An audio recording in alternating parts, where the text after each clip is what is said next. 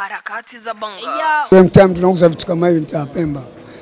Na nafikiri leo itakuwa ni ma- mara ya ngapi kuonana na mkuu wako Tanasha kupitia hii mara ya kwanza mnaona?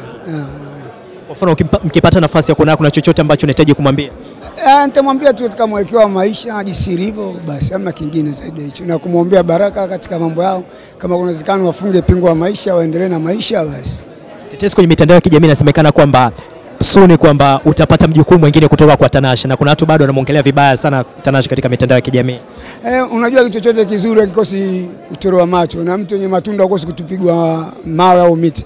Ni maendeleo ya mtu, inaweza kwa chuki, lakini hamna kitu kibaya. Ni vitu vya kawaida, wengi tu wanafanya vitu kama hivyo, so first time kusema kweli kwa Tanasha au kwa Nasibu, itakuwa kwamba ukimsimulia mtu inakuwa kitu mwelekeo. Unajua mtu ukipata kitu kinakuwa kidogo na mwelekeo, kila mtu anakuwa anaongea lake yeah. Tulikuona kwenye nyimbo kama utani, lakini sasa hivi imekuwa kama imekuwa kama mfululizo. Sasa umeshaingia kwenye game permanent ama ulikuwa unajaribu tu? Amna, ilikuwa game tu ya kujaribu, kama nilivyosema, watoto wenzani muda mrefu watu washakuja, nilisema tu kama supporter niliwapa yeah.